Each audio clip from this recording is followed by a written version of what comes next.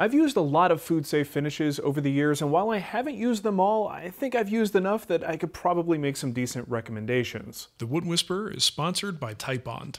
So what I have for you today is not exactly an exhaustive test, but it's one that stems from the materials that I'm most familiar with, and I wanted to do a test to compare them. The thing is, when I come up with these test ideas, a lot of times it's just born from my own curiosity. How does this compare to this?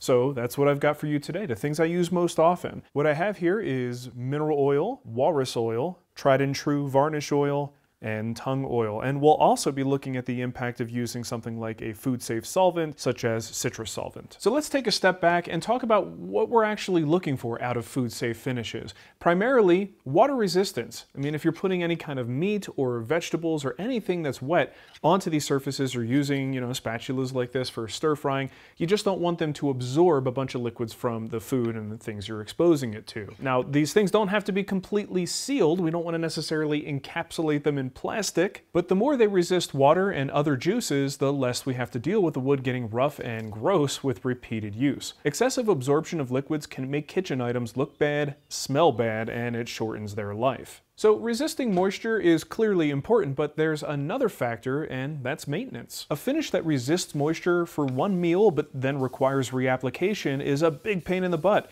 So for me personally, I'm looking for the least maintenance possible. So let's take a closer look at the four finishes that I have here. First, we'll start out with that classic food safe finish mineral oil. It's inexpensive, ranging from 13 to 30 cents per ounce, depending on the brand and the quantity. It's widely available, sold in grocery stores and pharmacies. It's generally considered to be safe, and it's the basis for pretty much all commercially available butcher block oils on the market. You can also mix the oil with other oils and even waxes to make yourself a nice little paste. Well, after you hear all that, it kind of sounds like the perfect food safe finish, but stay tuned to find out why I actually think it is probably the worst finish we have available. Next Next up is Walrus Oil's cutting board oil. It's a mineral oil based solution with other things added to it.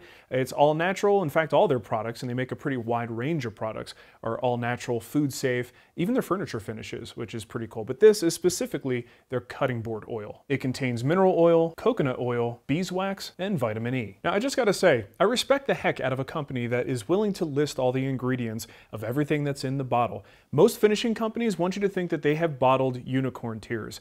And look, as we all know, unicorns do not have tear ducts. This stuff ranges from 51 cents an ounce to $1.25 an ounce, depending on the amount you buy. You can find it online as well as at select specialty retailers. While you certainly could mix it with wax, you really don't have to because it already contains it. Now, the next finish is one that I've used quite a bit, and as you can see, I buy it in a very large quantity, and that's tried and true varnish oil. But don't be distracted by the word varnish in the title. This stuff is 100% food safe, contains polymerized linseed oil and natural resins, and doesn't build a thick film like a traditional resin finish would. Now when I say polymerized oil, that's an important detail. Polymerization, while it's a fancy science word, actually just means the linking together of oil molecules to create a more durable layer. Essentially, that's the finish as it cures. Now, if you've ever seasoned a cast iron skillet, you know all about polymerization, you just may not realize that's what you've done. You put a thin layer of oil, you heat it up to a certain point, it polymerizes, it becomes hard and dry. So polymerization is actually a very good thing when it comes to oils. Now tried and true oil has this term polymerized on there. So if this were truly a polymerized oil, it would probably just be like a solid block of goo. That's what happens with polymerization, but it's clearly still liquid. So what did they do? Well, I don't know. This is one of those things where sometimes companies use terms for marketing. Sometimes they actually do have a legit process. Maybe it was an air exposure or an oxygen exposure that kind of helped kickstart the polymerization or maybe even a heat treatment that helps to kick off that polymerization. But I can tell you in practice, this stuff really just behaves like any other raw oil. So I haven't even seen any evidence that that polymerization makes a huge difference. And I guess I just keep buying it because I hope it's doing something. but I don't necessarily have proof. So this stuff runs about 78 cents an ounce to $1.62 an ounce, depending on the size. It's available online and sometimes at woodworking retailers. It's food safe according to the manufacturer, and you can easily heat it up and mix it with wax. And last, we have a classic woodworker's favorite, tung oil.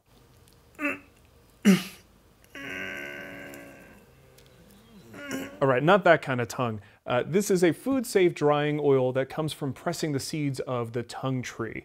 Now you do have to be very careful with labeling when it comes to tung oil, because a lot of finish companies will outright lie on their labels. Avoid things that are labeled as tung oil finish, as they're most likely just diluted varnish. Instead, only buy 100% pure tung oil. If it doesn't say that, don't buy it for food finishes. And when you open it up, you should be able to smell Sort of a, a, musky, oily scent, it should not be a harsh chemical odor. It should also be pretty viscous and not loose and runny. The price ranges from 58 cents an ounce to $1.15 an ounce. It's available from various brands at numerous vendors online, and you could find the stuff at woodworking stores as well. It's considered food safe, and it also mixes easily with waxes. Now, I know I'm going to get questions about hard wax oils. Companies like Rubio, Osmo, Odie's oil. These companies generally say that at least some of their finishes are food safe once they're cured. So here's the thing, should you use them? Well, that's totally up to you. Lots of people do, and if nobody has problems, that's great. Uh, for me personally, um, my background is in science. I always want to know what's in a thing, especially if it's something that may contact my food or my family's food and end up in our bodies. So these companies love to have their proprietary formulas. They don't want to tell you what's in there.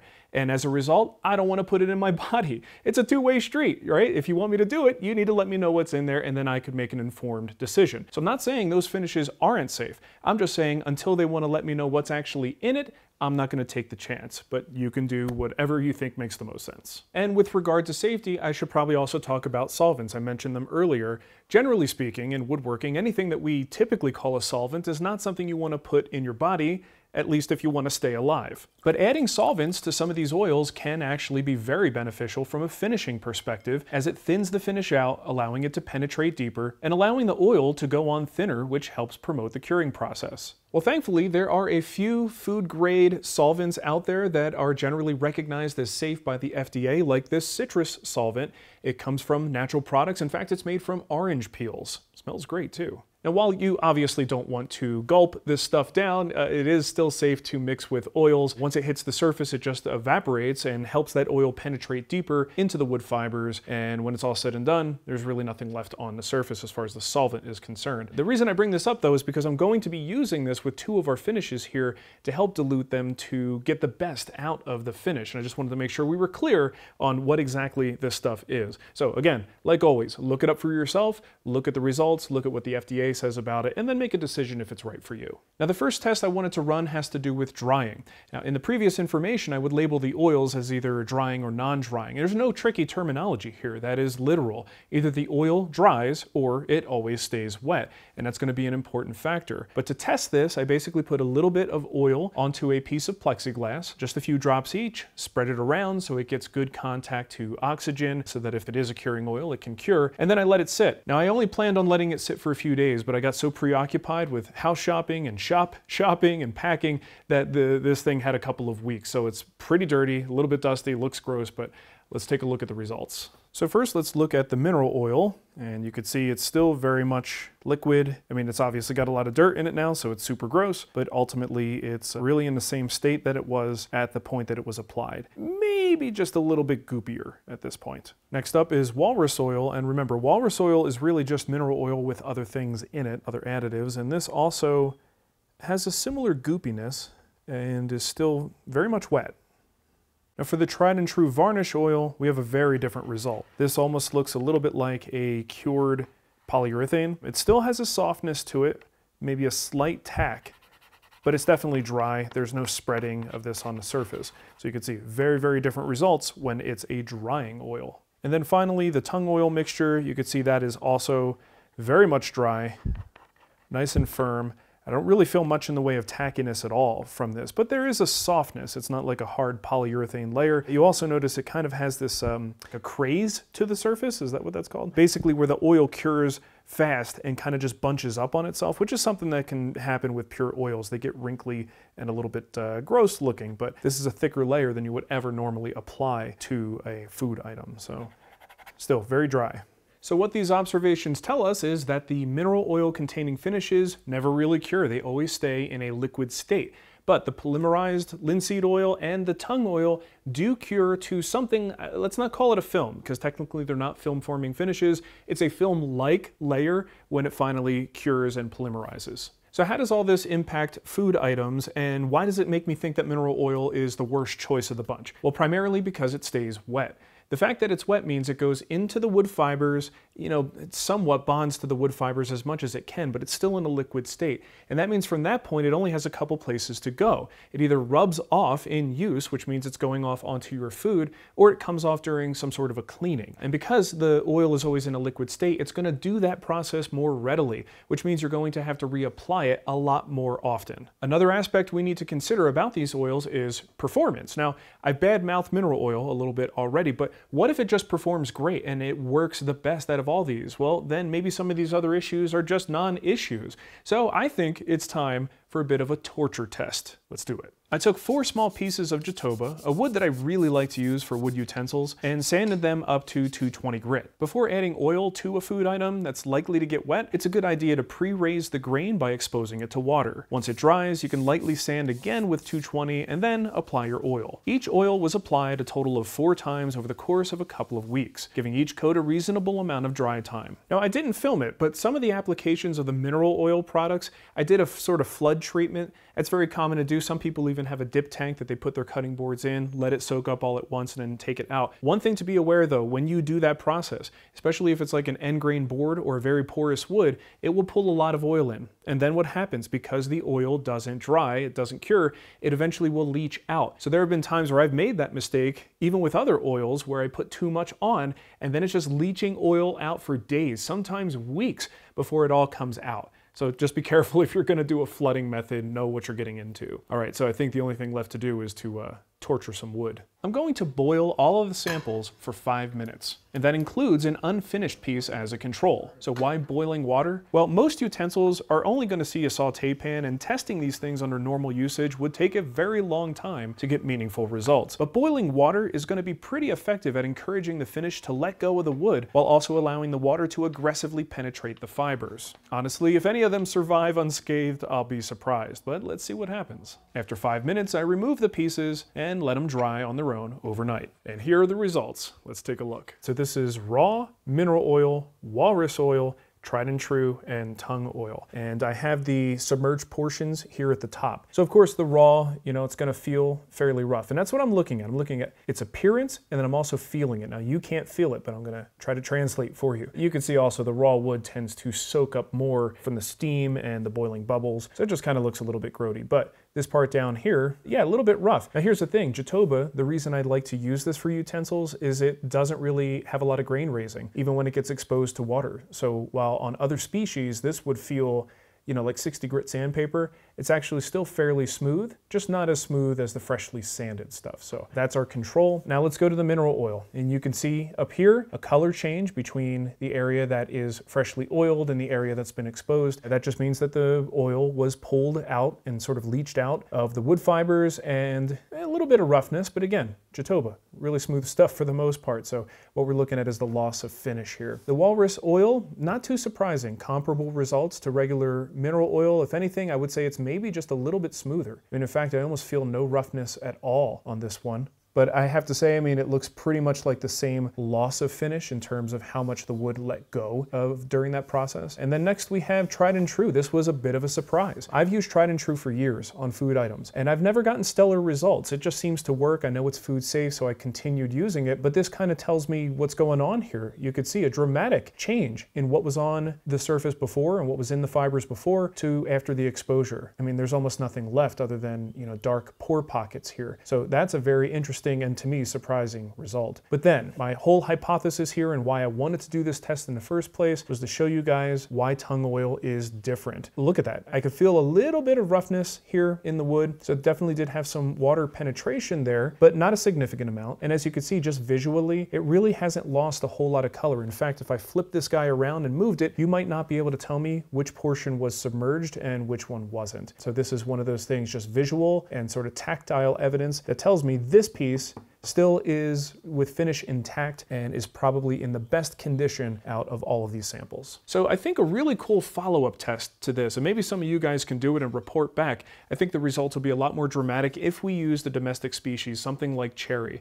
A lot of people make spoons and cutting boards out of cherry. This stuff just wouldn't fare as well to torture tests. You know, Jatoba is just incredibly durable, also known as Brazilian cherry. Uh, this sample, in fact, came from flooring that my neighbor put into their house and it had some extra pieces.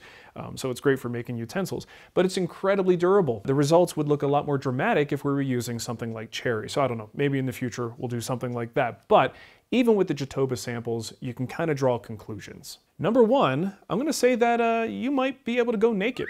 There are some species that are just durable enough, they resist the penetration of water enough that you may not need any oil at all. I think generally speaking, oil is always a good idea. It's going to make things last longer, but this Jatoba is really tough stuff and this sample held up pretty well. So sometimes naked might be an option. Now my second observation has to do with the differences between mineral oil and walrus oil. Now it's not too surprising. I mean, the walrus oil is primarily mineral oil with some other stuff in it. We're talking about their cutting board oil. They also make a bunch of other products, including tung oil, straight up mineral oil, furniture finishes. So you definitely want to go there and check out their product line because if you're looking for those all natural finishes, it's a great company. I love those guys. But in this particular test, comparing straight up mineral oil to walrus oil's cutting board oil, I couldn't really see a difference, but this is a very limited test and there are probably other ways that we could test these products to expose more differences between them, but I just didn't see it here. Now my third observation is a surprise and quite frankly a disappointment. I really expected tried and true varnish oil to perform better than this. Being a drying oil, I didn't think it would be all that different from the tung oil, and as you can see, in terms of its transformation with the loss of finish from the surface, it looks worse than some of the mineral oil finishes that we uh, looked at. So more experimentation is always called for with these things when you find a negative result. And I don't want to throw companies under the bus because of one goofy test, but this sort of reinforces what I've seen in my own kitchen where I kind of expected to get better results and just didn't. And I you know, always assumed it was just the way things were until I found the next thing, which is my fourth observation. So observation four, tung oil rocks. Like this stuff is amazing. This just confirms what I've been seeing in my own kitchen and just kind of thought maybe it was my imagination. Is the finish really lasting longer? I don't have to apply it as often to my cutting boards. In fact, I had a cutting board that was finished with this stuff, which kicked this whole experience off. My buddy Alex Snodgrass, who makes these cutting boards. He made me a big one, and he finished it with a mixture of tung oil and citrus uh, solvent. And the finish lasted like a couple years. It was a, a long time. And I asked him, Did you put varnish on that cutting board? Why did this last so long? And he told me what it was. So I've known about tung oil for ages. I've used it on projects in the past, but I just thought it was like boiled linseed oil, right? But when I put it on my other food items and started to observe how they behave over time, how easy they are to clean after usage, how much grain raising there is, I was really impressed. And that's what spurred on this test in the first place. I mean, look at this sample.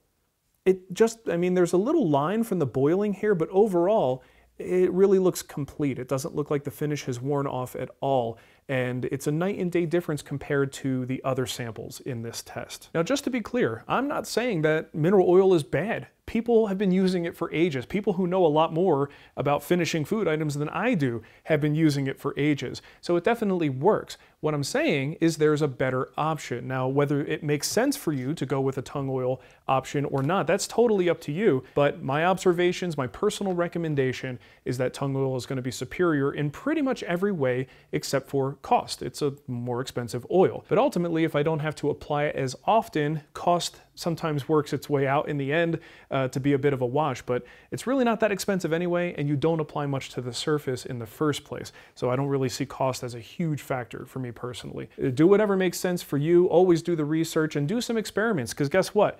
Uh, you know, we always talk about the statistical significance of things that we do here on YouTube. Obviously, this isn't statistically significant, but it supports my observations over the years, so I have faith in the results that I had. Test it for yourself. Grab some wood, get the finishes, and let me know what you get with your results. All right, so thanks for watching, everybody. I hope you've enjoyed this little experiment. Uh, we had to torture some poor pieces of wood, but I think they'll survive, and uh, I guess I'll catch you next time.